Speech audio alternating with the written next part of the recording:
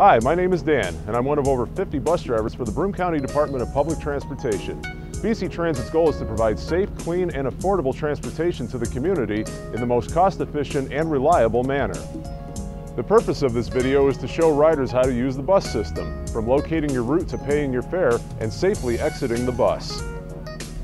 Broome County Transit services the urbanized core of Broome County, including the cities of Binghamton, Johnson City, Endwell, Endicott, and Vestal. Service is offered weekdays, weeknights, and on weekends. The cash fare is $2 every time you get on the bus, though transfers are free.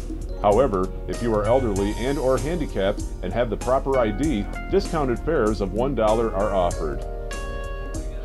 So, if you're thinking of riding to save money or the environment, BC Transit offers a safe, reliable way to get around. If you will be riding BC Transit for the first time or have general questions, here's how it works. Find your route. You can find any specific time and route information on our website at ridebctransit.com or by calling the BC Junction office at 778-1692. Be there on time. After you determine where you want to go and what route to take, determine what time you have to be at the bus stop. Arrive a few minutes early to ensure you don't miss your bus. Don't stand too close to the curb the bus driver will pull up close enough for everyone to get on the bus safely. Make sure you are on the right bus. Some stops serve a number of different routes. Check the bus's route number when it arrives. The route number and the destination will be displayed on the front and curbside of the bus. Boarding is easy. Enter the bus using the front door. Remember, the driver is your friend. If you have doubts or concerns about anything, do not hesitate to ask the driver. We're here to help you. Paying the fare. Again, the regular cash fare is $2. You place your money in the fare box, which accepts cash and coins.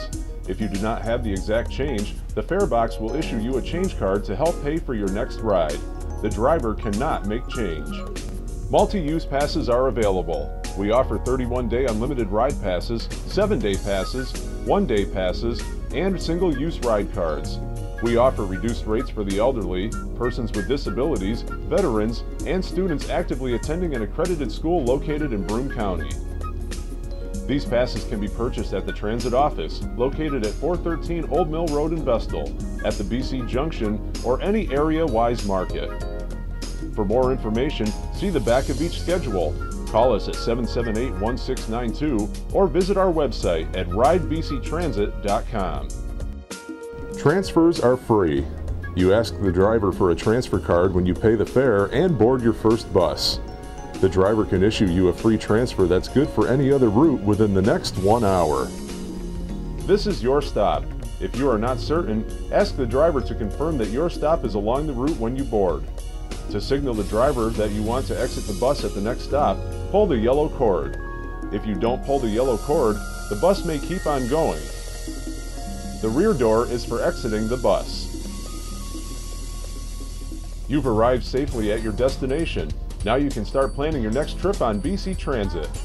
Riding BC Transit is easy. In fact, thousands of transit riders get on our buses every day to take them to work, shopping, appointments, and getting to their entertainment destinations.